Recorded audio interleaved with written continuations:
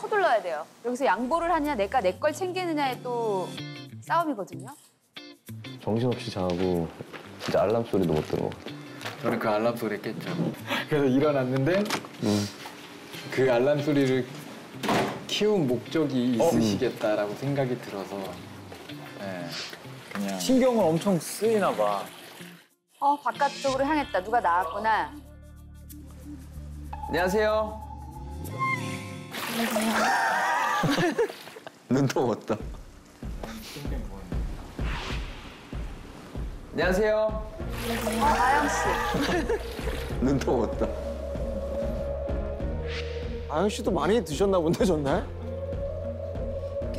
아, 근데 이제 수진 씨가 조금, 아, 기회를. 배수진 씨가 늦었네. 네, 한 발로. 배수진 씨가 늦었어요.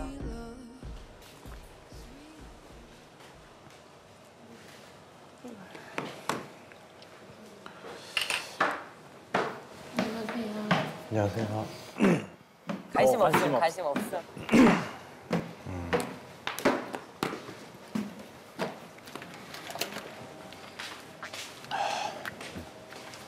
뭐야? 따라가 왜?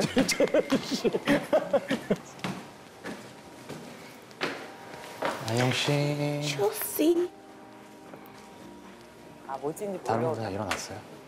일어났어요 다. 언니 빼고. 아 물어봐. 아 저렇게 감흥 없게 찍어? 와. 이미 뭐, 어 마음을 생각지 예상을 정했으니까. 했죠. 다른 분들 일어났어요? 일어났어요 다. 아하. 언니 빼고. 아, 아니 나 언니가 나 이제 둘이지? 네? 효정 동생은 네? 준비 중이에요. 아, 수진 씨 준비 중.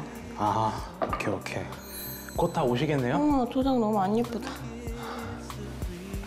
아, 근데 저는 안타까워요. 배수진 씨. 아, 메이크업 하느라고. 그러니까 어떻게? 되게 초조하다 보는 사람도.